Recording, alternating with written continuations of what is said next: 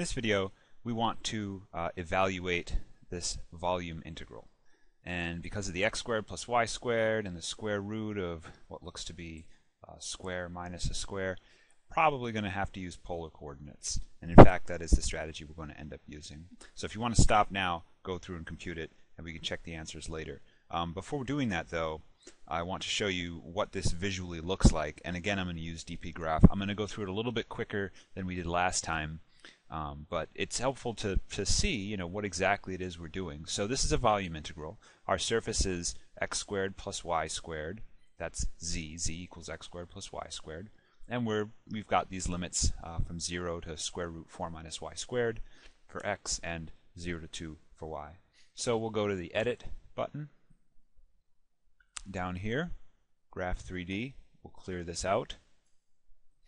And we'll just type in the function z equals x squared plus y squared. So we'll click execute, and there we can see it. Of course, we're going to want to see the bounding box, call that true. And we're also going to want to see the limits on this thing. So let's put a double set of parentheses so we can do multiple functions. And we want, let's see, x equals 0, x equals square root and then 4 minus y squared. We're also going to want y equals 0 and y equals 2. And of course, z equals 0 because it's you know the surface has to be above z equals 0. So when we click execute, we'll see what this looks like. And it's a pretty big mess at this point. I mean, there's a lot of stuff going on. Um, so let's use some ampersands uh, to take the union of this set. Now remember, we want z less than this, we want under this surface, and x greater than 0, x less than square root, that's an ampersand. Take the union of that with y greater than 0, ampersand, y less than 2, ampersand, and we'll do z greater than 0. Okay, that's the chunk that we're looking for. And as you can see, the top is kind of sliced off a bit, so we'll go and change our bounds around a little bit. Doing that is pretty easy to do. Our minimum x is going to be, uh, we'll call it negative 1. Uh, maximum x is going to be 2 minimum y, again we'll call it negative 1, maximum y positive 2. Uh, our z will be minimum of negative 1 and a maximum of, say, call it 4. That's a little bit better view of what we're doing. And let's just do one more step to make it really refined. Let's make this uh, 75 resolution instead of 21 and click OK. Okay, so that's that's the slice that we're dealing with. This is the volume that we're trying to find right? That's the exact volume of this integral. And it's going to be easiest to do it in polar coordinates. Okay, So let me actually take a print screen of that and just paste it over here for reference. And let's go about actually um, figuring out what the bounds are in polar coordinates. Right? So we have obviously, uh, let's make this blue.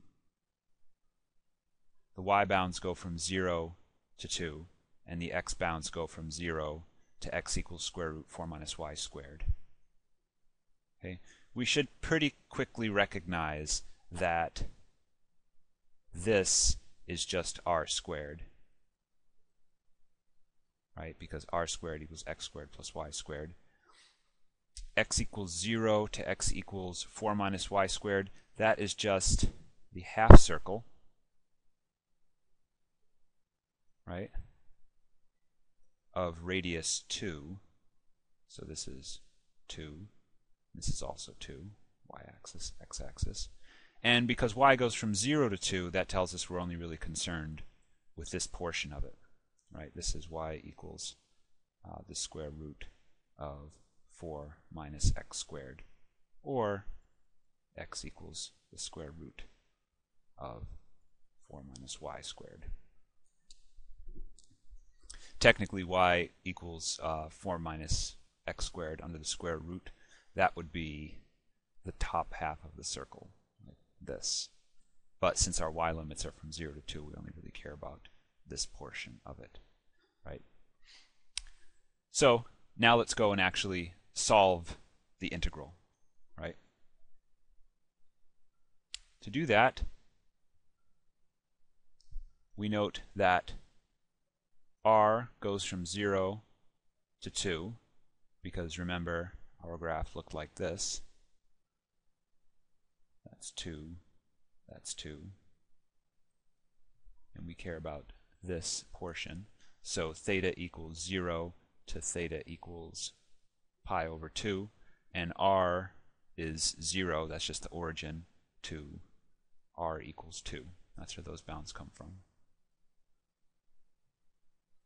Right? And then there's our r squared, that's x squared plus y squared. And then this is the differential when you have um, polar coordinates. You have to add the r, dr, d theta. This turns into a pretty easy product of integrals. We've got from 0 to 2 r cubed dr times 0 to pi over 2 d theta. That's very easy to compute. This is also very easy to compute. And we go down and we see that it is exactly 2 pi units squared. That's the volume of this shape. So this integral is 2 pi units squared. That's the volume of this interesting shape.